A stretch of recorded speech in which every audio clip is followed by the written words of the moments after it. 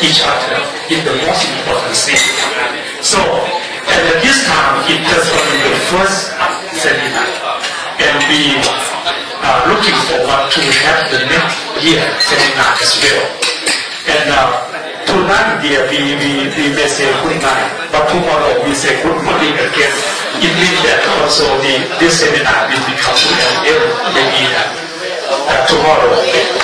it means that we are waiting for the beginning of the new seminar in the year, which means that our cooperation will never, will never end.